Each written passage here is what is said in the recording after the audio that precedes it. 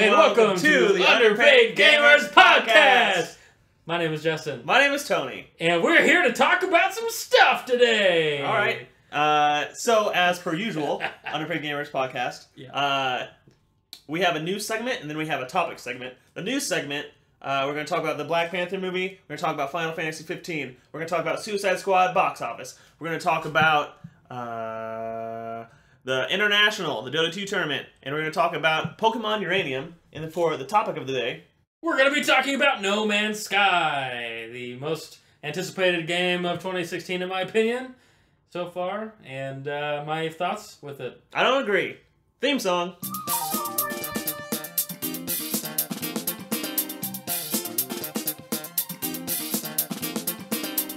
The Underpaid Gamers is the official podcast of underpaidgamers.com. You can find us at Twitter at upgamerspodcast. You can find us at Gmail at underpaidgamerspodcast at gmail.com. Find us on SoundCloud, iTunes, and Google Play. There's Uh, one more thing. Oh, YouTube. We're on the YouTube. Underpaid Gamers. Yeah. We have a channel. Welcome. Check it out. Yo, yo, yo, yo, yo, yo, yo. What's up? Oh, I have another secret bit of news that I thought was really funny. Uh oh. Um, have, you ever, Surprise! have you ever watched uh, Criminal Minds? No. It's very popular. It has like 14 seasons. Holy cow. The main character, uh, Aaron Hotchner, Mhm. is an FBI guy, um, who is played by Thomas Gibson. He's been on it for every season. Seriously? Just got fired What? because he kicked a producer. There was an on-set awesome. altercation, is what they said. Oh he kicked goodness. somebody, and they're like, "You're out of here." Like 14 years. 14 years. You're out. I really didn't like Criminal. I watched Criminal Minds. Okay, so this is what happened. I watch Criminal Mi- Criminal Minds because it's normally about like A criminal's mind. Yeah, it's like so they're in the uh, BAU, I think, behavioral analysis unit, Interesting. and they're always trying to figure out who these killers are, who these criminals are, by the way they act, by the way they talk, by all this stuff. But, but by the way they created, their, they committed their crime. Like that's a really cool thing to do. That that's a cool TV show. So I was watching it all the time, and this is when I was playing Destiny. mm-hmm. So I'd watch it all the time, and Destiny was very grindy at that point because it just came out. Um, so I'd have Criminal Minds on my laptop, and I was playing Destiny. Wasn't playing with the sound on because I was doing literally the same thing over and over again, a la Destiny. Yeah. Classic Um, first wave Destiny. And then like, it just Criminal Minds just kept getting super repetitive, and it was always this serial killer killed his whole family and ran to the mountains. This serial killer did this to a girl. This and this and this. I'm just like, this is not fun. It's not fun anymore. Then halfway through, I, I was halfway paying attention because I was also playing Destiny. Halfway through, there was mm-hmm. like a a Russian girl that showed up, and then she became part of the FBI, and then she was there for like the rest of the season. So I'm like, I don't remember where you came from, or what your story arc is. I don't care about you at all. so just a main character that you just have no Yeah. affiliation with. So I just don't care. stopped watching it because I very much did not like it after the first couple of seasons. And then this popped up on my Facebook newsfeed that he got kicked out for kicking somebody. I'm like, There it is. that's fun. That's a good. That's a good thing to talk about. So for all you Criminal Minds fans out there, That happened. Sorry about that. hmm Um, I guess I can save that No Man's Sky news for when we talk about it. Yeah, sure. Do you want to talk? I'll give you the option. Okay, talk to me. Suicide Squad box office, Pokemon Uranium, Final Fantasy 15, Black Panther movie, or the International. uh, let's do Pokemon Uranium. Sweet. So Pokemon Uranium was the game I was playing when we got here. Hmm I have I have news about Which it. is why this is my first question. Uh, fan-based game emerges online after nine years of production. Pokemon Uranium adds over 200 new Pokemon, eight gyms, a new team of villains called Team Nuclear, and a new region. Downloaded over 1.5 million times. Holy cow! Nintendo of America lawyers contact the development team and demand a removal of all links from their website. Um, while the creators claim to never have received any cease and desist letters, they have received multiple takedown notices. The creators then go on to say that while they don't, while they won't have any direct download downloads on their site, they will still be working on updates for the game if you can find it somewhere else. nice. So it was out for like three days before Nintendo of America lawyers are like, They can't do that. cut this crap out. Stop it. So like, but it's these people have been working on this game for nine years. It's out for like three days, and Mhm. Nintendo's like, "Hey, cut that out." I'm like, "Dang, that sucks." It got, got downloaded over a million times. If- once it's out there, it's out there. It's out there forever. Because the torrents. Yeah, but they can. I assume they can no longer like. Officially post it on their website, Yeah. probably not. But So it sucks that they worked so hard. But I was playing it. I actually I saw it. I'm like, I don't really want to get into a Pokemon game. Then I saw that they removed it. And I'm like, well, I better download it while it's now still it is, yeah. Um, it's a lot of fun. Uh, my first thoughts. If you want to get it, go all means. There's a whole bunch of new Pokemon. You have to figure it all out again. So that's a lot of fun. Mm-hmm. My first thoughts of it are positive. Mm-hmm. Um, How does it stack up against classic Pokemon games? I mean, I would say it's. I mean, I've only played for a couple hours right now, so Mhm. it's kind of hard to tell. Yeah. Um, but the there are major differences. One of them being that you don't get to pick your first Pokemon of the Oh. three. Instead, it gives you like a. They call it a Pokemon Trainer aptitude test. Oh, The professor does. Classic. So it he questions you, and then it gives you a list of three answers, and the answers are color coded. So there's a red one, which is normally aggressive, a Mhm. green one that's like whatever you'd be synonymous with a f- grass type, and then a Yeah. blue one, which is like wise, I guess, some yeah, duh. some BS like that. Squirrel. Um, so it gives you like four questions, and then however you answer those questions, if you answer majority red or the majority green or majority blue, he says, "Oh, I think this Pokemon would be good for you," and he gives you that Pokemon. So you can you can predict which one you're gonna get. You can still pick them based on Mhm. that, and then your rival obviously gets. Um, my rival actually got the weaker, my weaker type. really? I think so. My starter is a fire. of course. It's fire ground, um, which is interesting. That's a new type, and he got a grass something. I don't know what it is, Hmm. but when we battled, I destroyed him. yeah, he not was- even close. He was gone. He was out of there. Dunzo. Um, so that was a lot of fun, and because it's made from an independent developer, Mm-hmm. um, they don't necessarily have to follow the same restrictions that a normal Pokemon game would. Yeah. And I almost feel like because I'm not ten years old, I enjoy this game more than other games. yeah. It also seems a little bit harder. But when you first start a new game and ask you, do you want to do a classic game or a Nuzlocke challenge game? Mm. So Nuzlocke challenge is, of course, if your Pokemon faints, you have to release it. I'd assume it would release it automatically. It would suck. So that's a lot of fun to do, though. Yeah, for sure. I mean, that's Um, a new way to spice things up a little yeah. bit. So there's a lot of references to old Pokemon games in this one. Specifically, when you leave your house, you're staying with your aunt Mm-hmm. because your mom. Okay, Okay. uh, your mom dies in a nuclear meltdown. Oh no! Um, Uranium. Uranium, and then the team is called Team Nuclear, and I assume the legendary Pokemon has to do with Atomic something. yeah, atomic, something like that. So she was like the head scientist for this nuclear power plant, which you find out in the intro. Mhm. and then she dies trying to save people. So you're like, that's cool.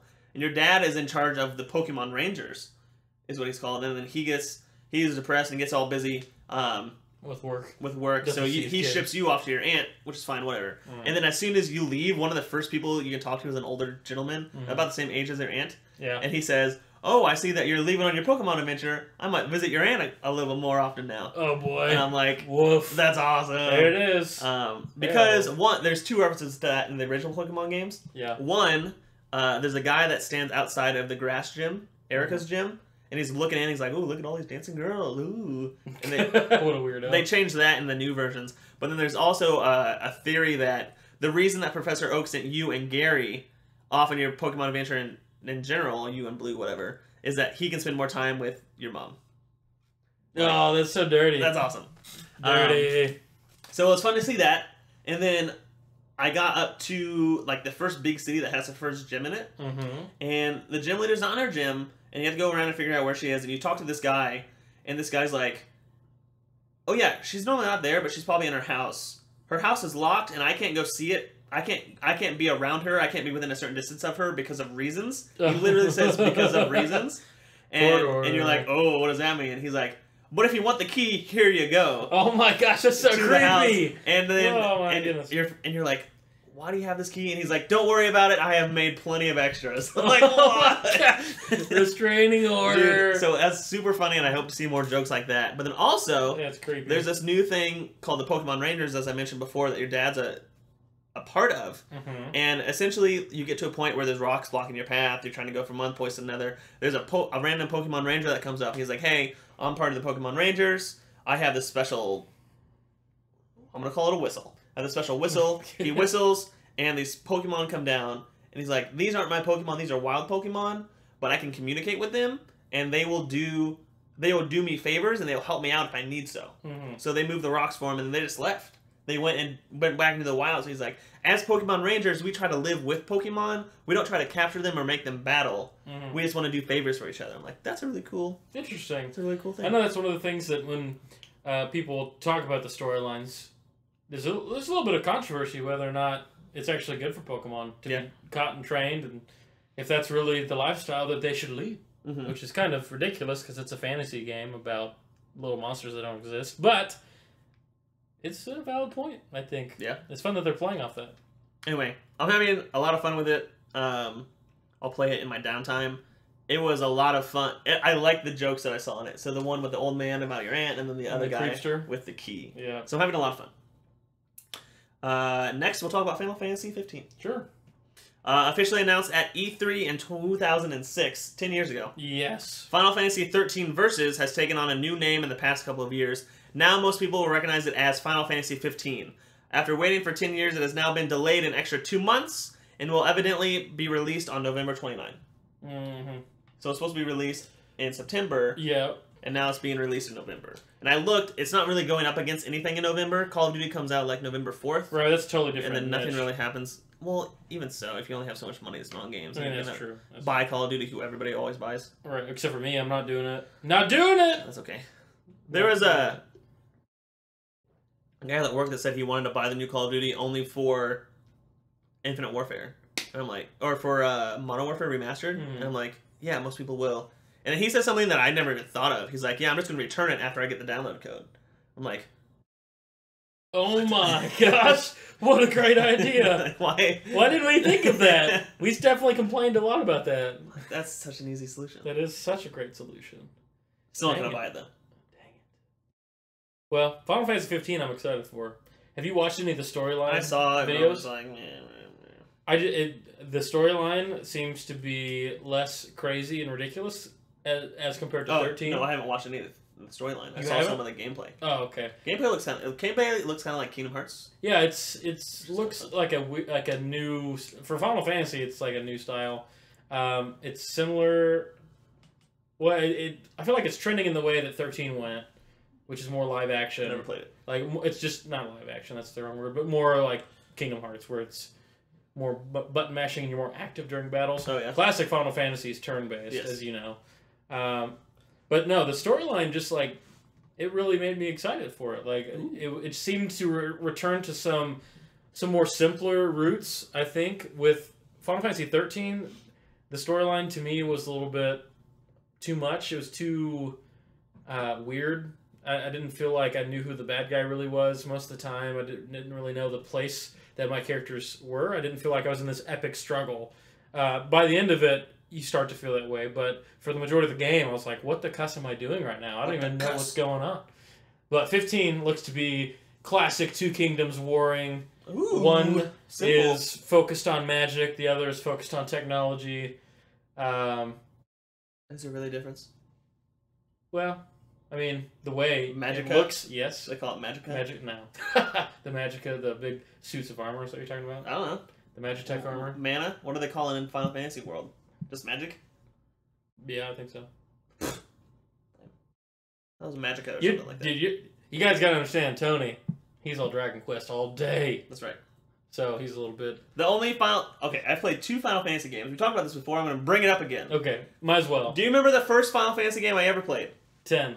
Two.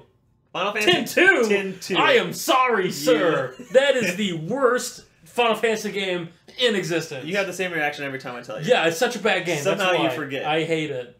Final Fantasy X 2 was my first one I played, and I'm like, what the heck is going on? Yeah, worst And game. then I picked up Final Fantasy 12, which I really enjoyed because of the Sky Pirate, yeah, Balthier. Balthier is the I'm best like, character in that awesome. game for sure. And they're remaking it, so I might pick it up again. But Talk- in the disc case done for dun. no, that's backwards. In the disc case for Dragon Quest VIII, which I picked up, Yeah. there was a demo for Final Fantasy 12, Oh, and that's why I picked it up because I played the demo first. and you thought it was good. I thought it was all right. I'm like, this is kind of fun. Yeah, I, I The battle system in Final Fantasy 12 is Mhm. not bad. well, like the turn-based circles, the thing. Uh, Doesn't it just have, no, because a- you can kind of you can walk around and do whatever you want. It's more like a cooldown, Mhm. so it's less turn based and more just you have to wait for a cooldown, which I, sounds like they did in 13. Yeah, well, thirteen was more like they actively fought, and you chose the style in which they fought, and you did. They called them paradigm shifts, and you could shift this strategy or style that they're fighting, like almost immediately, and it would have. It sounds difficult. Yeah, there, it was really weird to get used to, but it was. But by the end of it, like it was pretty intuitive. Like there were some really cool things you could do with the with the combat system. It was totally different though than any other Final Fantasy game that I'd ever played. So, 15 has been in development, or at least announced, for a very long time. 10 years ago. Very long time. Literally 10 years ago. What are your What are your thoughts on that? Uh, That's well, getting into the same. That's longer than the Last Guardian has been in development. That, that is true. I think, I hope, what, here, I'll start with the positives. I hope, because I've had so much time, it's going to be awesome. I feel like in the past, uh, I think with 13, I was really disappointed with what they did. And I played Final Fantasy 14, being an online game, for a little bit, and I played Yeah. Final Fantasy 11 a little bit. I mean, I've played every Final Fantasy pretty much. And Nerd! I- yeah, nerd alert! How much time did you waste? Hundreds of hours. That's the if number. you had fun, It's it's, not ridiculous. wasting time. That's right. Gaming life. What's up? Also, Uh, you're, you're communicating with it. yeah. About it, not with it. Uh, I really feel like in recent times, to me, I haven't been able to connect with the story as much as I used to. Uh, I feel like Final Fantasy 7, 8, 9 on PlayStation 1. Six is your favorite. 9 is my favorite. Shut up. Six is your favorite. Six is not my favorite. Uh, the PlayStation 1 Final Fantasy games were my favorite. Yes. and I felt like since then I've been slightly disappointed with every game that's come out. Ten was good. Final Fantasy game. F- Every Final Fantasy game, yeah, for sure. Uh, there are other games I enjoy, like The Last of Us is awesome. However, totally different game. Uh, tangent also, You always talk about The Last of Us. dude, it's so freaking good. you That's should why. pick another game that you enjoy. um Uncharted. Battlefront. That's a totally different genre. That's fine. I do like Uncharted. I haven't played four though, and I know that makes you very upset. He's making sad faces right now. Either way, Puppy dog. I feel like the most recent installments of Final Fantasy have been a little bit disappointing to me, as in 13, really. I'm really just referencing 13. So I'm hoping the 15 is good. cool. Yeah. We'll see what happens. They better not screw it up. After 10 years. I want to talk about Suicide Squad box office numbers. Okay, talk to me. I don't have. Wait, can I guess what happened? Sure. It's not doing well in box office after the, after the first week. Okay. They made like $43 million, and that's it. Something like that. No. Was it close? No. Was it $43 million last week? Maybe. Uh, I don't know. I don't know. Talk to me. Suicide Squad box office. It drops by. You can't. Don't look at my notes. There's- dang There's it. a surprise in here. Dang it! Uh, it drops by seventy nine point four percent from first Friday to second Friday. hmm So that's sixty four point eight million dollars. The first Friday was out to thirteen point three five million dollars. The second Friday is out. So that's quite a big Yeah. divot. Yeah. NPR Um, this morning said it was because reviews are really bad. That's what their guess Reviews was. are bad before it came out though. Um, But the people who don't you- care you about reviews people tried to sue Rotten Tomatoes because they gave it a bad review, Seriously? and they're like, Rotten Tomatoes is aggregate. It's Are just you- an average of Are you kidding me? No. That's the most. That's one of the dumbest things I've ever heard. There was another thing that I think would hold up more in court Mhm. is that there's somebody in the UK that is trying to sue Warner Brothers because there wasn't enough Joker in the film. And the reason I think that holds up more is because every single poster and every single trailer shows the Joker Mhm. almost at the center of the poster. So if you go in thinking, I want to see more Joker, and you only see like 15 minutes of him, you're like, Mhm. what is happening? Still though, it's like a work of art. I don't. I don't think. Jared Leto also said, I'm, I'm going to paraphrase what he said. Okay. Uh, he almost said, "I hope I die tomorrow," so that way that Warner Brothers releases all the extra footage of the Joker, because otherwise, I don't think it will see the light of day. Oh my gosh.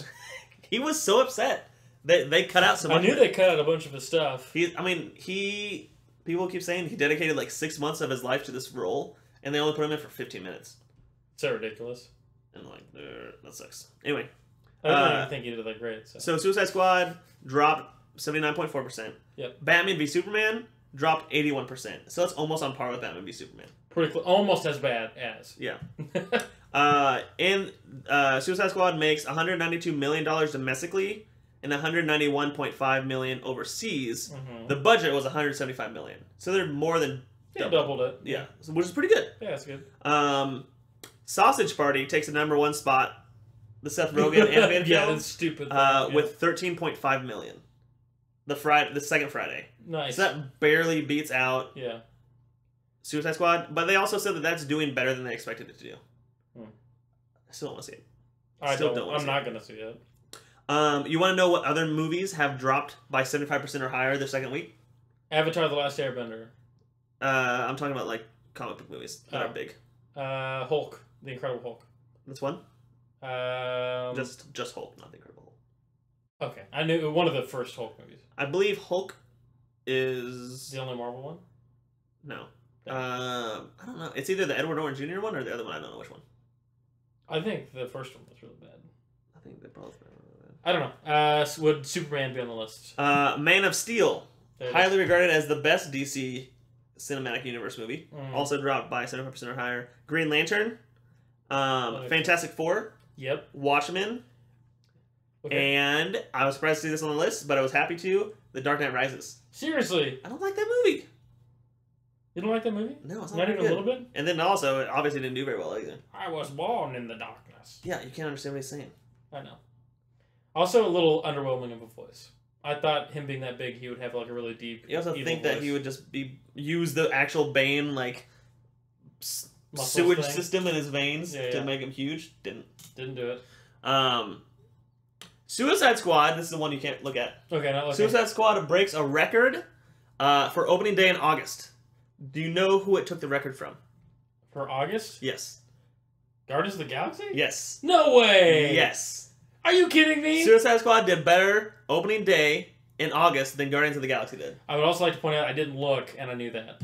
Cool. That should be impressive. Um, you should be happy for Guardians of the Galaxy also dropped from first Friday to second Friday Yeah. by 67.5%, The reason it's not more is because I went and saw it three times in two weeks. which isn't that bad.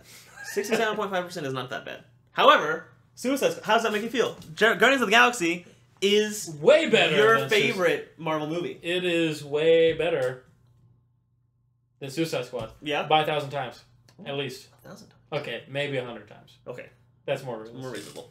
Um, So what do you think? Does that make you upset? it does make me a Does it little bit almost upset. personally offend you? It does actually personally offend me, DC. Looking at you. Stop making money. Oh, What what crap. I, what I give it last week? Was it five out of ten or six out of ten? We didn't give it a number. We did the underpaid gamers. Oh, I did a buck system, fifty. Oh yeah, I did a buck fifty. A buck yeah. fifty Blu-ray red box. Yeah. I gave it a ten dollars at the movie theater. Yep. I stand by that. I mean, I paid ten bucks. I think it's pretty good. I don't regret going to see it in the movies. I don't because we hung out and then we podcasted about it. Yeah, we that, make, that makes it way more worth it. But by itself, I don't know if it'd be worth it. So it did similar to Batman v Superman. You got me all flustered now. Oh, there's another thing I want to talk about. What? Um, I we were talking about this when we were playing Overwatch. We're gonna add it to our predictions page. Uh oh. Um, Which I will make a separate page, by the way. okay. um, so this first happened with uh, Star Wars: The Force Awakens. okay. There was DVD exclusivity At Target. only if you bought it at Target. yeah, which like was that's dumb. that's a stupid idea. I don't want to see it anymore. However, when Batman v Superman came out, they didn't have this in theaters. They added all these extra scenes, a director's cut, exclusive The- extended edition, Yeah, made it rated R. made it rated R, I guess, and made it longer. And people are saying that that makes it a better movie. Mhm. I don't like to see that either. But if it's one time, okay, that's fine. But now you can expect to see that in Suicide Squad where they add all the scenes of Joker, and add all Joker, this other thing, make it a three hour movie, and it'll probably make it a better film. And then you'll say I just don't I don't want to see that. I, if you're gonna put a movie like Mhm. DC has been doing this a lot. They make a three hour movie, they cut it down to two hours and throw it in the theaters. That makes a whole bunch of money. Like that's not a good film.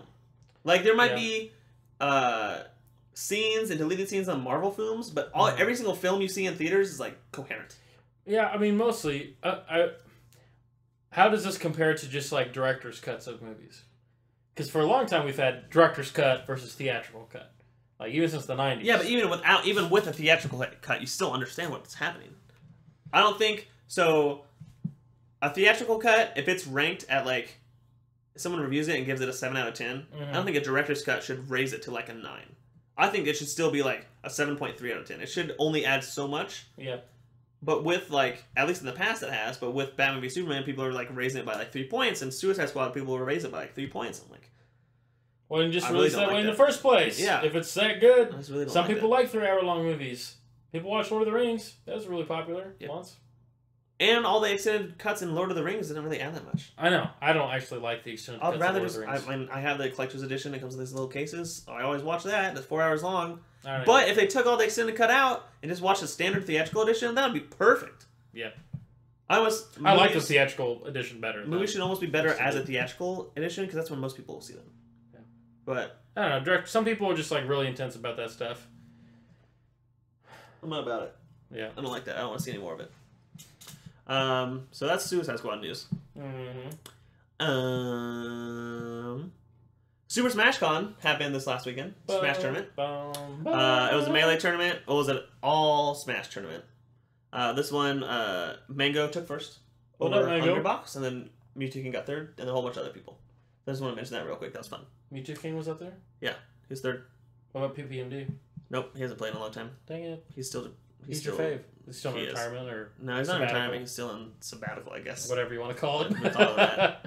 Um, and then also today, there's just small little news. Uh, the Destiny collection, I, I think it's just called the collection, will be released on September 20th, and this includes all five DLCs, including the new Rise of Iron.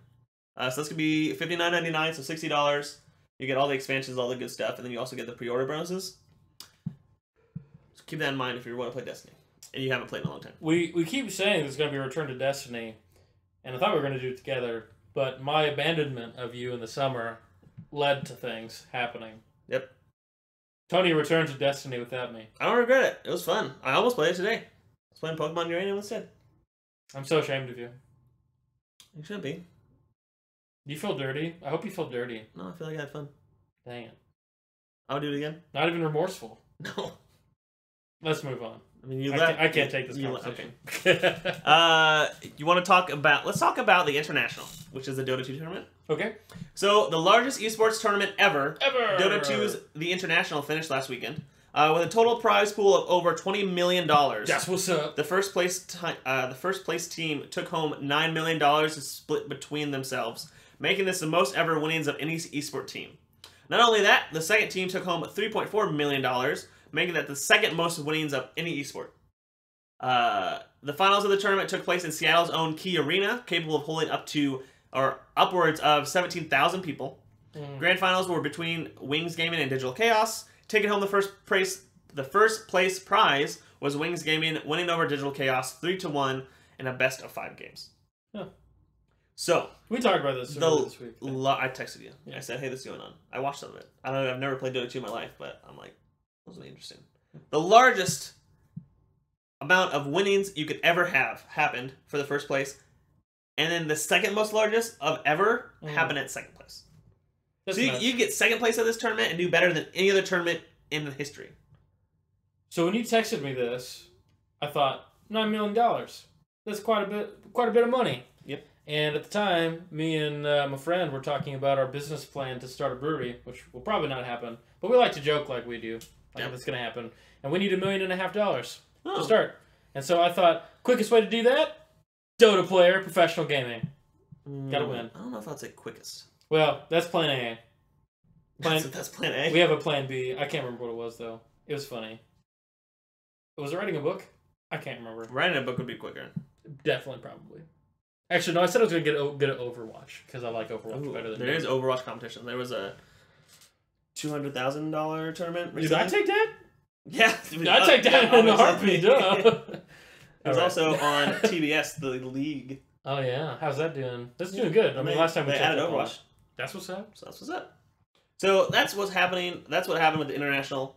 I figured we like talking about esports. We love esports. We support We 100. percent MOBAs. We We, do. we play Smite. We're good at, or We we, enjoy Smite. MOBAs. I don't know how good we are at MOBAs. We're not good. we enjoy playing them though. Most of the games we play at, we're not good at. Except for just We're really bad at games. the, yeah.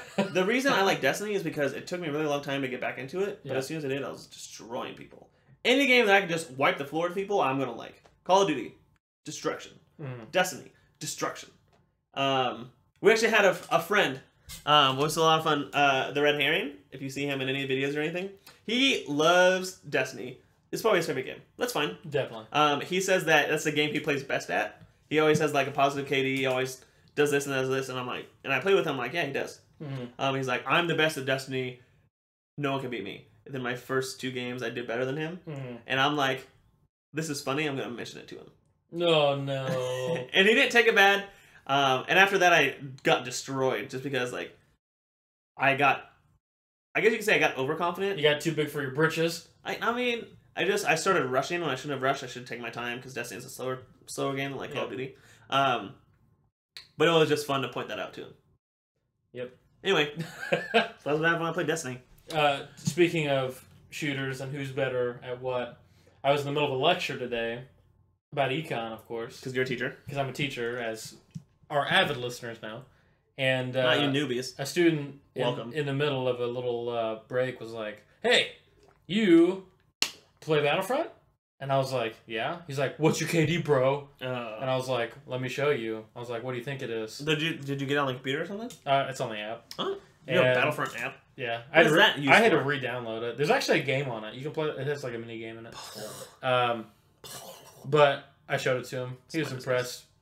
Impressed. What is it? Two point three three. Really? That's what's up, dude. I'm telling you, Battlefront's my game. Battlefront must be easy. hey, f you, man.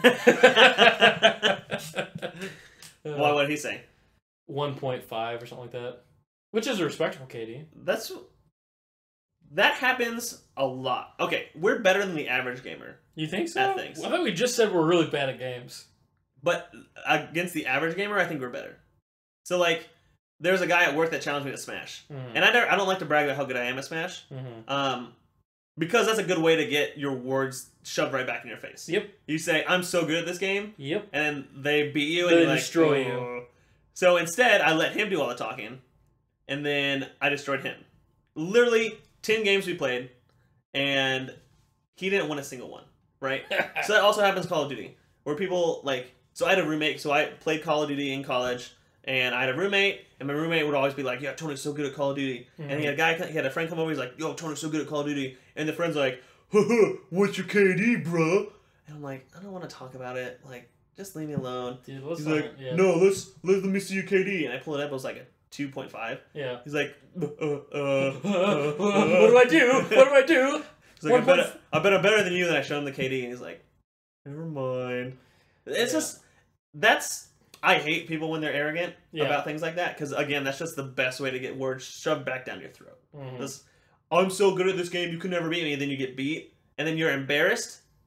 I don't want to be embarrassed. Yeah. So I just I always sell myself short when things come up like this. Well, you know, I think, I think with gaming and with life, a lot of times, competition is fun. Yeah. But it to me, it's only fun when it's in When you're winning. when, when it's in good sport, Oh, like when you're being a good sport about things, you it's know, fun when I win. and when you're playing with friends. I'm more about it for the community and for the fun of the stories Yeah. and things.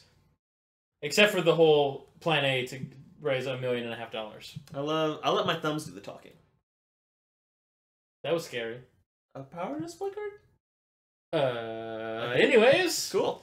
awesome. Um, so one more set of news. Uh, Black Panther, the movie. I I'm out- excited I found out for- a lot of stuff. Tell me. Um, the release date has been moved to February 16 of 2018, with filming starting in January of 2017.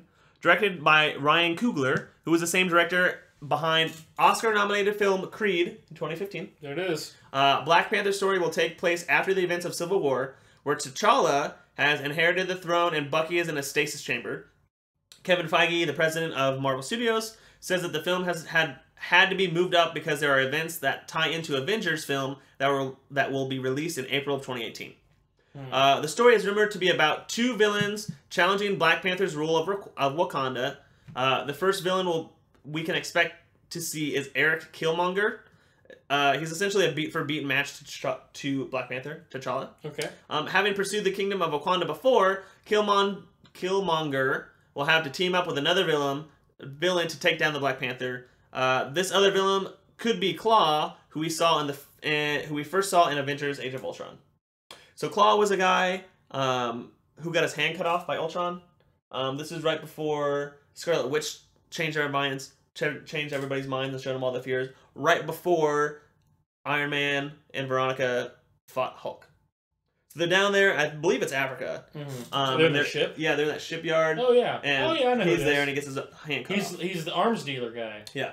Okay. And he gets his arm cut off. So he's originally a Black Panther Villain character. character. character. Um, and then obviously Wakanda is the home of the vibranium, which Mhm. has which is what Captain America's shield of. I don't expect to see him, um, but that's why Bucky's there, so they can make him a new arm. Um, and while he's in like a stasis chamber, I definitely expect to see Bucky in this film. Mm-hmm. Um, and then Eric Killmonger, I looked him up and he's like exactly just like Black Panther, just evil. So people are talking about how Black Panther, his DNA is always in question because he inherited the throne from his father, Mhm. his the kingdom. So he's the king of Wakanda. But people are always like, I don't know about your DNA, dude. So Killmonger would probably be like, I have the right DNA, make me king. saying that he's the actual heir. Yeah. He- okay, so it's talking about who's who's the real son. Yeah. Okay. But then, uh, so kind of a Games of Thrones thing. Um, but then again, Black Panther didn't have a uh, an origin story in Civil War, so I doubt we'll see that. And what we might just go straight into it. So he might already have history with these two villains. yeah. So I'm okay with that. I'm excited to see this without any major Marvel characters. Yeah. As in like the, the the ones that have already been built up. And it's clearly a very different setting. Yeah. It's in Africa. The I'm excited. Africa, as opposed to New York. and we've talked about this before that Marvel does a really good job of making its films feel different Yes. uh, in terms of their style and what what they're really about. So hopefully this will be like a fun drama or political thr- thriller or something. I don't know. It'll just be That'd be fun. it'll be interesting to see what what type of curveball they throw us. And Black Panther's really fun to watch on screen. Like he destroyed. He people. he did a really good. He was the character going into Avengers, and I was like, well, he seems like a weird character Civil to War. throw in the Avengers. That's what I meant. Civil War. I was like, this character seems to be one that I'm not really that excited about. Yeah. And then when we watched it, he You're be, like, he "Eh." very quickly became one of the ones I liked the most. Because he the- fights so well. Yeah, and he's just like his character. Though we didn't get a lot of it, he was really cool. He seems like a good guy. There was a good amount. There was a. I made a video Mm-hmm. recently of my top five anticipated Marvel games, and a Black Panther game was on there. If you want to go watch that, you can. Dude, I did YouTube. watch it actually. Did you? Yeah. What'd you think? I said make it similar to a Assassin's Creed Three type feel. Yeah, I can see that. So in Assassin's Creed 3, it's kind of the first time where they had like a wilderness that you could run around in. Mm-hmm. And Wakanda, I put up the map, is very like so Wakanda is the most uh, Technologically technologically advanced Yeah. city country on the planet. So you're Mhm. obviously going to have a giant city filled with all this other stuff. But on the outside, it's still in Africa, so you still have deserts and forests and all these other places. I'm like, if you added the frontiering of Assassin's Creed to like, but put Black Panther in it, have him run through the trees too, and stuff, like that'd be so cool. that would be very cool. And then even the combat could be similar because Assassin's Creed you take on like six guys at a time, Mm. and Black Panther could easily do oh, that. duh. He's awesome. So that'd just be a lot of fun. Yeah. Also, there's a lot of good ideas in that video, and you should watch it. Yeah, if you've not watched it, check out our YouTube channel, Underpaid Gamers. I was really disappointed because I only got like million. Hey, one of those was me. Good job. Thanks. Proud of you. It's also pinned on our Twitter, so just go to our Twitter and you can watch it there. And I think I posted it on our Patreon too. Sweet. It's in our feed. So if you Google it, it's there. Um, I believe that's yep, that's all the news I have. Unless you want to talk more about Black Panther. Any more thoughts? Nope. Still excited? Yes. Sweet. I wonder what could happen in Black Panther that would then have an effect on Avengers. Well, I think Bucky getting his arm back. Either that or there's an Infinity Stone there. That would be awesome. We haven't seen one of those for a while. Yeah. And we're still missing one, I believe. Yeah. So it'll be fun. That would be very cool. But I feel like that's what Guardians of the Galaxy 2 is going to be. Another for them, another one? Dude, they already had one. They have like the rest of the universe. Earth, how many is that going to have? How many is Like they going to have? That's what I said. how many is they going to have? I don't know. that was not good grammar. That's okay. Well, I'm excited. That was fun. that was good. Uh, I forgot to add this. Um, I can't remember his name. The guy that played in Krieg, in Creed, and also he played in Fantastic Four, Jordan something. Mm-hmm. Hold on. What's happening over here? Oh, there's a tornado warning. Interesting. Well, let's not get dead from a tornado. Sorry, my phone was blowing up. I I heard it. I don't think they heard it though. But now they know about it. I was distracted. Okay. Well, either way, No Man's Sky. Sure. No, I, I was in the middle of a thought. Oh, what's your thought? Anyways, he's in this movie. He played uh the Human Torch in Fanta- and Fantastic, Mm. and then he played uh he played the the fighter in Creed. I can't think of the actor's name, but he's Mhm. gonna be in Black Panther as well. That's cool. Just think about that. Thinking about that. Anyway, No Man's Sky. No Man's Sky. Tell me what you think because I have not played it. Yeah. Well, can I? Should I do pro? I'll do pros first, and I'll do cons. Uh, sure, if you want to break it up like that. Well, I just like to organize the way I think, or else it's just a big old word vomit. Ooh, my favorite. So pros, No Man's Sky. Um, it has real like when you're in a system, no load screens, so you can go from a space station to the ground seamlessly, That's cool. which is very cool. So the the sense of scale in the game is awesome. How long does it take a load screen? So you start the game up. Okay, so PS4 has a rest mode, and when you go into rest mode and you have the game up, hmm you pick it back up as soon as you turn the PS4 back on. Yeah. Does it have to load from there, or is it already loaded? Uh, I think it's Or have you not done that because you forget that you can put your PS4 in rest mode? no. I do put it in rest mode now pretty regularly. Uh, I think it has to load Okay. if I remember right. I've only played it three or four times. For So Bloodborne had like a 15 minute load screen. yeah until they updated it. Does this one have a really long load screen at the start? Uh, I would I wouldn't say it's it's not longer than Bloodborne's. I think it's shorter than Bloodborne's. Honestly, the way they do it, from what I understand, is when you jump hyperspace jump into a system, the hyperspace jump is the load screen for that entire system, Okay. and then that whole system is seamless. Like there's no loading screen, and that's pretty amazing because the planets are huge. Holy cow! Have you found a small planet yet? No, Because I don't want to small, find a small I've only found huge planets, See, that would annoy me. Like, but I did find a, a planet that w- had literal towers of gold. and I felt so rich. And I just went down, mined a bunch of it, brought it back up to space station, sold it, did it like three times, and now I'm rich. nice. I was so happy too because I was like so upset that I didn't have any money. I was like, I want to buy these cool ships I keep seeing, but I can't because I have no money. And then guess what? Jump two systems, found the Tower of Gold, which I named the planet Tower of Gold. That's so cool. Or Golden Spires. I can't remember what I named Not it. too bad. Either way, uh, so seamless and scale, really cool. Um, I'm trying to think of other things that are super positive, but I'm starting to slow down Oh, on it. that's so, not good. Yeah. So I love the idea of the game. Okay. I love the idea of exploration. The things that I struggle with with No Man's Sky is exactly what you said before. Okay, we gotta we gotta take a second. Okay. Um, you were talking about your towers of gold. Yeah. I yeah. really wanted to make a golden shower reference, and I refrained. I want you and I want the audience to know that I could have made a golden shower reference and a Mhm. golden shower joke. I did not. I don't even know what that means, but Proceed. Okay. Either way, uh, I love the idea Okay. of No Man's Sky. I love exploration. You love that it's like infinite, Yes. essentially. And it's- Well, not necessarily infinite, but not that not that it's infinite, but the fact that you explore. yeah. However, this game Hmm? is more of a survival game Huh.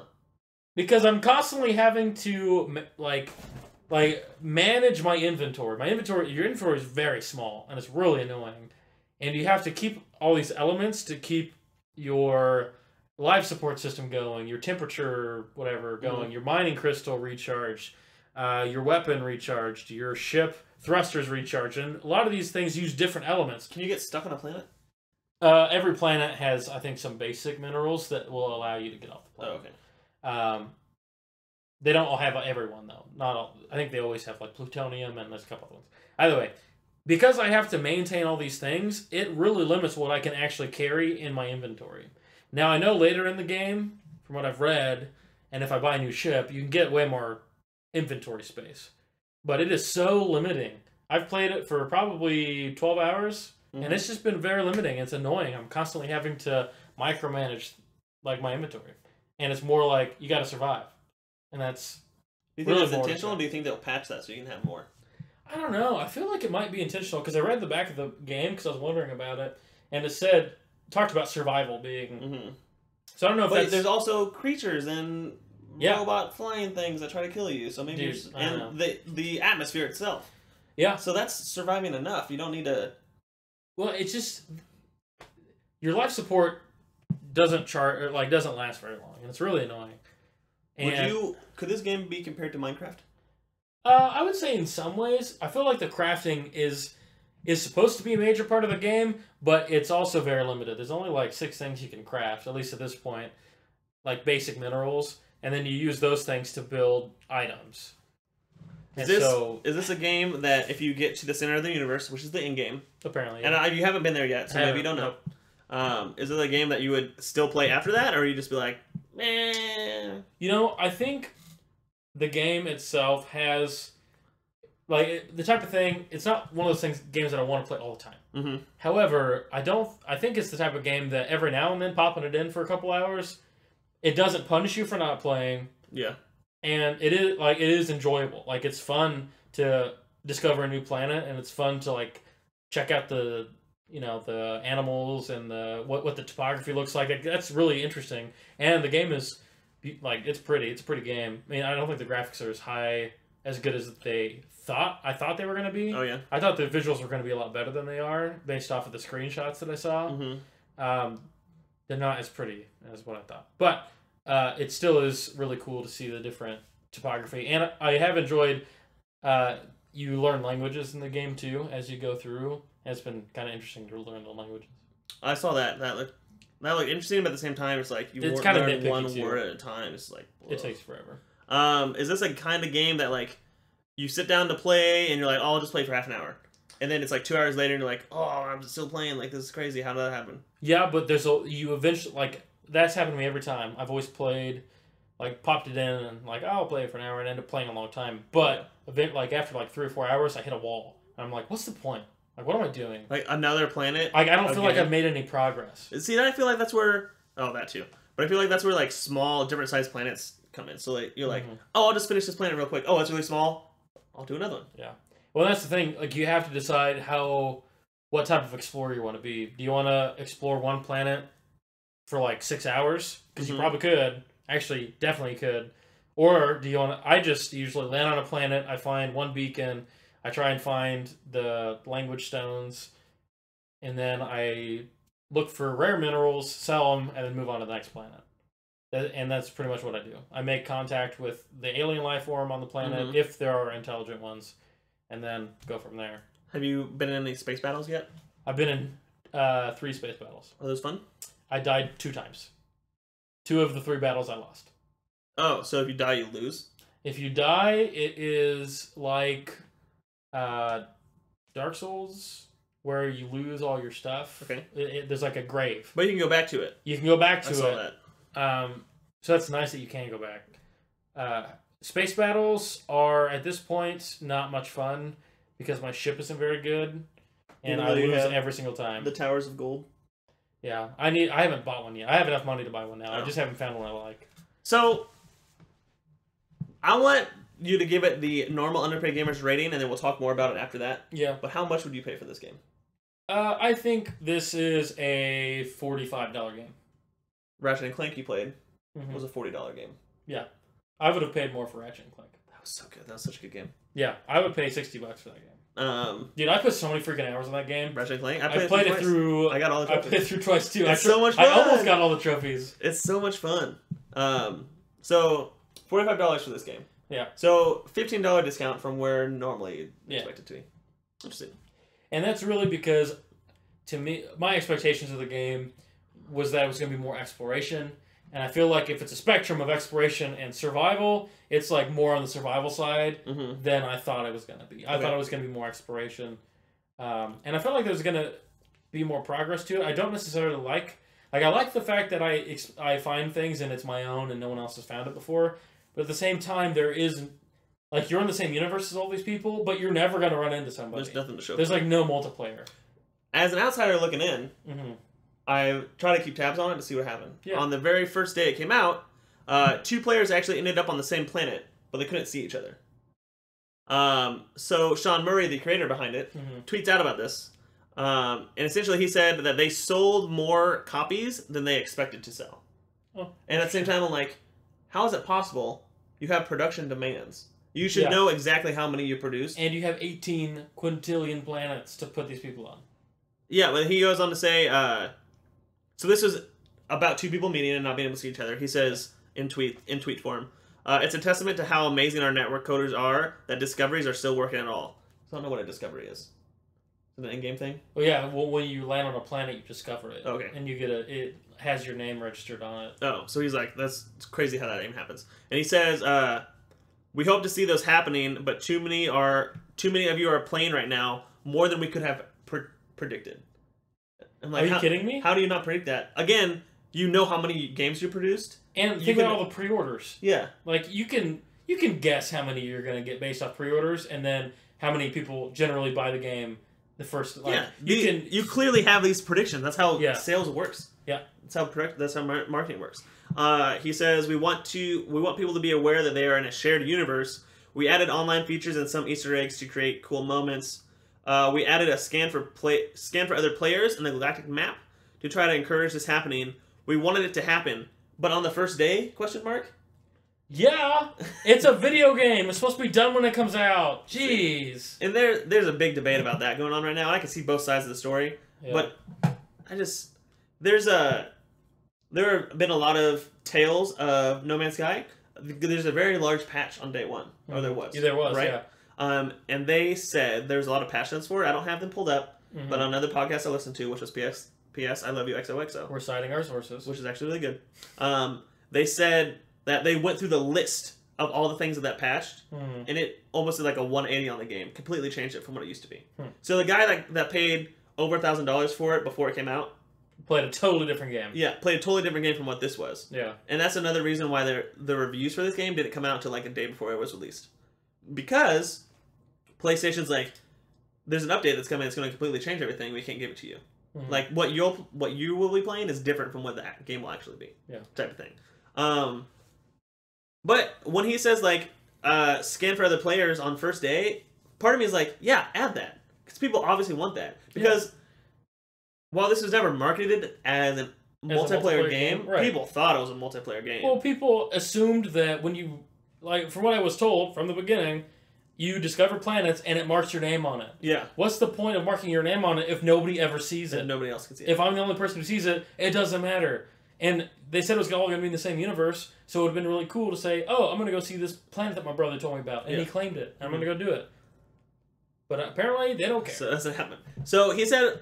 So he said on the first day, and I understand they're a small company, but and I know where he's going with this. There's going to be patches and going to be updates and things like Sure. that. But at the same time, it's like I guess I'm not being very understanding because they do have like a 14 person team, right? 12. It's But like so small. you've played the game and you feel burnt because you paid for it, a little bit, expecting like, things. I, I, expectations ran rampant with this game. Yeah, and that's why I said it was the most anticipated game because I feel like it had so many questions about it, and it was so like re- like there wasn't ever like what other exploration game is there like this? Like there's nothing that I Rogue think Galaxy. of. Dude, Rogue Galaxy's so good. We'll PlayStation Two. We can Uh, yeah, but no, that's Rogue Galaxy. No Man's Sky, Rogue Galaxy. Rebel Galaxy. Rebel Galaxy. That's what I meant. Rogue Galaxy. I thought it was Rogue Galaxy. That's the PS2 game. I meant to say Rebel Galaxy, Oh, I don't. which oh, is the game that you're playing. I am playing that right now. That does not have qu- 18 quintillion planets. Right. You also can't go on the planets. So the True. cool thing about this is you can go on the planets. Yeah. But you said something that again I thought of what just thinking because Mhm. it's one of those things I don't play the game. I'm thinking from the outside in. Yeah. Um, and essentially what you said is you can't share this with anybody. So, So, Skyrim, any any other RPG, you can say, "Hey Justin, I found this awesome planet. There's this awesome thing here. Mhm. Go to this place." Mm. And you can't. Like my universe is different from your universe. I can't say unless there's like a GPS. Well, technically you could, but to find it would be so hard. Yeah. You would spend hours just looking for the right system. So like Skyrim, I'll be like, Justin, there's a Star Wars reference in one of these caves Mhm. where Luke Skywalker is hanging upside down, or a skeleton is hanging upside down from a cave, From ice or something. Yeah. and then on the bottom there's a flame of uh, there's a sword of flame or whatever. Yeah, yeah. Like, oh, lightsaber. Go exactly here, you'll find it. Like, Yeah. oh, okay, I can go there and I'll see it and I'll love Yeah. it. But here, I can't be like, I found this planet of golden towers. Go to it. yeah. And you're just like, That's why I named it there because I I, thought if somebody comes across this planet, they Like, could be like, "Oh, look, so much gold." Um, yeah, and that's maybe it'd be cool if there was a feature where you could see everybody in your friends list who plays the game, and then see all their discoveries, hmm and keep like look into the planets they've discovered, look into the creatures they've discovered. Like that would be a cool feature.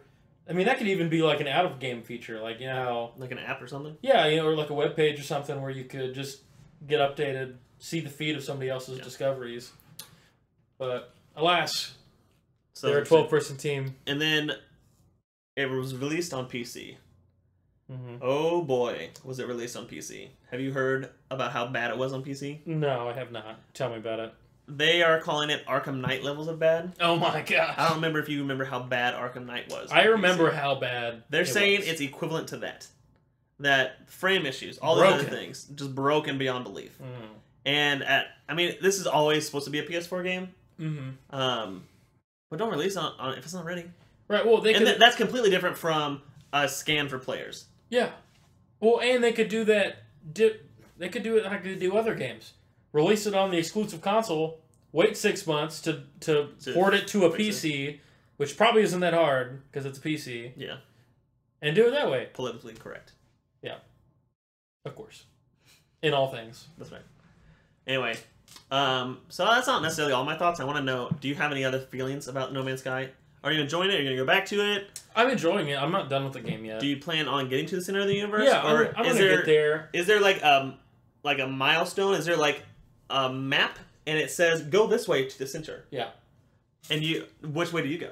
You go Uh, towards it you I've go been over it? following the center, the the map to the center, because I figure once you get to the center, you can probably continue exploring. Yeah.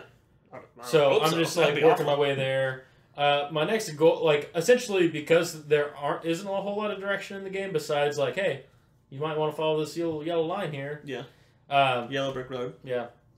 Since there isn't, I, I keep making like goals for myself. Like, I'm gonna buy a new ship. Mhm. I'm gonna explore the solar system today.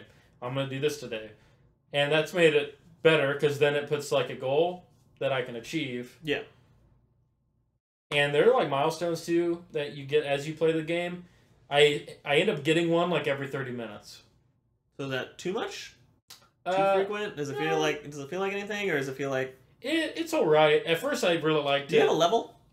No, your character have a level? no, but you're you constantly get upgrades for things, Okay. and you can build like uh, like for your weapon and things. You can you find tons of different types of uh, like mining tools and weapons because it's the same thing. It, you just flip Yeah. a switch, and uh, each one has different slots, and then you can build For like gyms? attachments to them, and you find attachments all over the place, and like random things to make your weapons better, to make your suit better. So there's like lots of upgrades you can find. Would you do. feel like you did you had more uh do you feel like you would do more if or you feel like you had accomplished more if you character has a level? Like oh when I started I was at level five but now I'm at level seven. Uh, I don't know if I need the level number. I think equipment is enough. Yeah. Because No- I because no- I'm, I'm like leveling up my equipment. Like no increase in HP? What if you could build up an immunity to like a specific toxin in the atmosphere? dude, that'd be sick. And then whenever you went to a planet with that, you're like, Or "Ah, like, care, I got you, gills. you have like thermal skin, so you don't have to wear your suit when you go to an ice planet. That'd Mhm. be cool. Have you found an ice planet? I found a, a sub-zero planet, but it wasn't ice. What'd you name it? I didn't name it anything. You name it Hoth or anything? I let them. I let the game name it. So how does that work? Like, When you find a planet was planet, it kind of fun at first, and now you're just like, just do it. I don't care. Uh, well, I actually didn't name it until I found the planet with the gold spires, because that's when I figured out how to do it. Which is another complaint about this game. There is no real tutorial. Okay. There's like no tutorial at all. It's like, hey, you crash out on this planet. You need to do these things. A, fix your ship. B, launch off the planet. So no direction. C, go into a spaceport. And that was it. It doesn't Mm. explain how to fire. I mean, there are a lot of things that are natural, right? Like fire your weapon, Yeah. blah, blah. But I, didn't- I didn't know how to craft. I didn't know how. I didn't. I still don't understand how the whole guardian thing works. It's where very similar to Minecraft. those those robots who fly around and shoot you sometimes. Yeah. Like, there's a way to make them angry, Okay. And I I'm sure it has to do with like mining too much or attack or like attacking the animals. So when or- you see those, do you destroy all of them, or do you? no, I usually just ignore them. Oh. There are some planets that they automatically attack you. When you first land on a planet, it gives you like some descriptions about it that you learn, and one of them is the level of protection it gets from the sentries or sentinels or Okay. something. And uh, if they're like, if it's red, it means that they automatically attack you as soon as they see you. So that those planets suck, um, because they like you start off and you're so weak. It's so hard to fight them off. Like it's annoying. I haven't died to the sentinels on the planets yet. It's just been pirates that have killed me. Space pirates. I love pirates. Dude, it's so annoying. Man, I was like getting off the planet of gold Mhm. with a cargo full, like With your booty. so much gold. Yeah. And anytime you have valuable stuff in your cargo, it's Oh. more likely that pirates will pull you out of warp. And so they pulled me out of warp, and there were like three of them, and I fight them off. Was it easy or hard? Did you lose that one? That was the one I won. nice. Thank the Lord. Worth it. I put so much. I took so long to mine Yeah. all that gold. I seriously spent like forty five minutes mining. Gosh. It made me think of Eve Online. So, in my head, I keep comparing this game to Minecraft. I mean, there are so many similarities to Minecraft. Which would you say is more worth your dollar? Uh, that's a hard question. Probably. Which one is? they're both equivalent. So Yeah. obviously Minecraft's been out longer and has more things to it. Yeah. well, Minecraft is for like a building game Yeah. This slash survival. This one's like exploration slash survival. And it feel like the thing that makes it feel like Minecraft is the mining Mm-hmm. because you like get things from it, but the crafting is so different, and you don't actually like build anything in the real world. You just upgrade your equipment and upgrade your ship, Hmm. and that doesn't do a whole lot in terms of what it looks like. So really, you're just destroying the planet, and then getting upgrades that don't really change. So what's the best part about this game? Uh, the best part of this game is the moment when you warp into a star system and you look around, you see all these planets, and you th- look at them and say, "This one looks the best," and I'm just gonna warp right to it. And you warp to it, and you or you just uh, fly real fast towards it, Mhm. and you land on it, and you jump off that ship for the first time. You discover it, and you look around, and you're like, "Man, this is cool.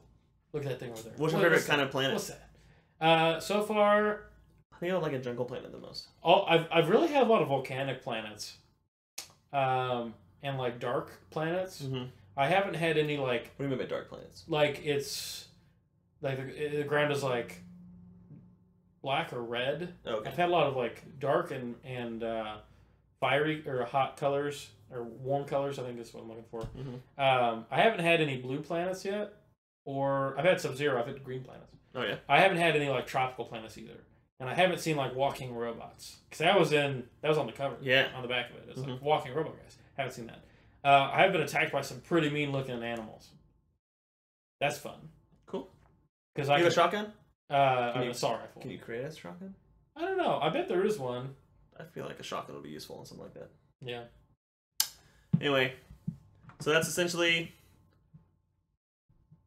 That's No Man's Sky. that's No Man's Sky. Official your first- Justin. Twelve hours in. Yeah. Review is forty five bucks. I don't know. We'll see if you play it longer. If you Yeah, it might change. It might change. Who knows? I don't know what the middle of the universe is supposed to look like.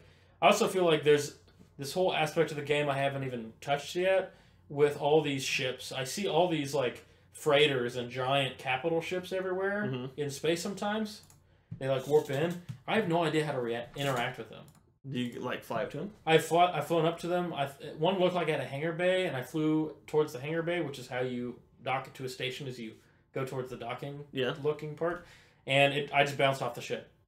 You didn't shoot or anything, did you? No, I would not shoot one of those things. They have so many turrets on them. Oh yeah. Uh, I have the first time I died, I was trying to help protect those things because Oh. a bunch of pirates warped in to fight them, and I was like, "Oh, my help!" Mm, But then I give died. me some reward money. That's what I was trying, but I died, of course. That's bad.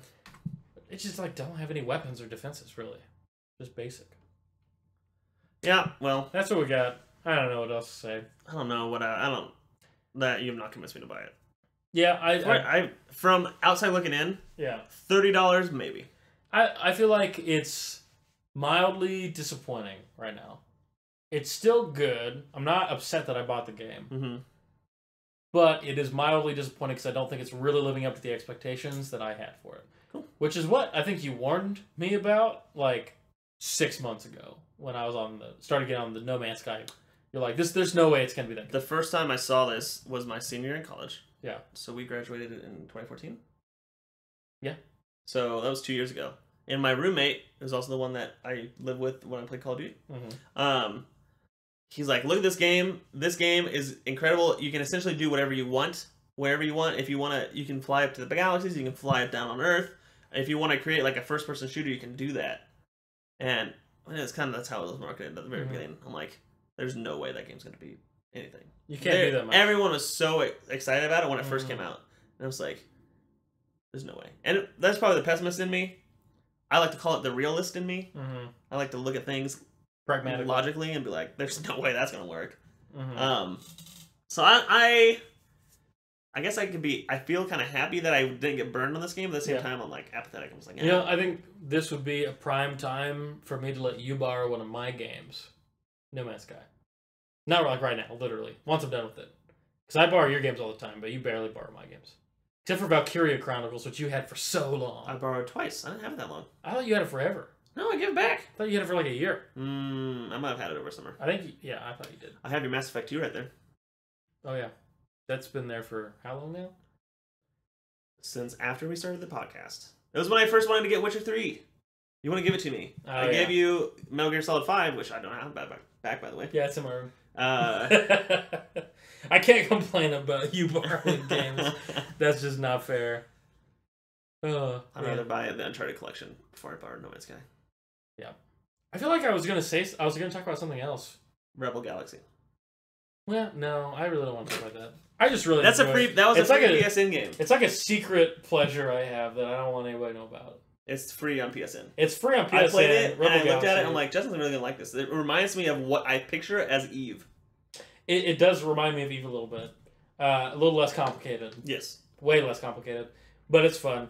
You just like build your ship and you go fight pirates or be a pirate, whichever one you want. Which Yeah. sounds exactly like Eve. I just couldn't. I couldn't get into It it. was too much It probably too for you, stuff. but it was like too much distance between things. I was like, yeah, I'm really low level, so I can't do anything. And it's, I was not about it. It was also one of those times where I just didn't want to invest into learning a new game. Mhm. You know what that's like. Sometimes you just want to play something you're familiar with. Yeah. Which is why I play Destiny. yeah, for sure, for sure. Overwatch has been fun. Oh, we're gonna talk about Overwatch. Yeah, that's, I think that was. As soon as you're done with this, I'm gonna cook dinner. We're gonna play Overwatch. Yeah, we're both gonna play Overwatch tonight. Uh, been loving it. I got it. Oh, I got some video birthday. clips last night, hmm so I'll probably upload this to YouTube. Oh yeah, I have the No Man's Sky video. I haven't. I haven't. You also have the rest of the Star Fox videos to finish. Do I have the rest of those? They took up 32 gigs on my. Did you get rid of them? my work computer, Oh, and then my awesome. work computer ran out of space. Dang. All right. So if you're really invested in the Star Fox on the Wii U series, That's probably not. you can watch the Ratchet and. Clank series because that's complete. Sorry. Whoops. so you have No Man's Sky. We're gonna do. It's gonna be coming. We're gonna do our classic. Uh, we're not very good at. Yeah, that's we're not good at series. that's our good which is essentially our first impressions of a game. of a game. We pick it up and play it. really like. So maybe that's what we'll do. Maybe I'll play it, and we'll talk about it. Oh yeah, no, that's a great experience. that's a great way to do it because then I can actually give you a little bit of guidance Yeah. on how it, the game works. Um, I have Overwatch gameplay that I might upload tomorrow.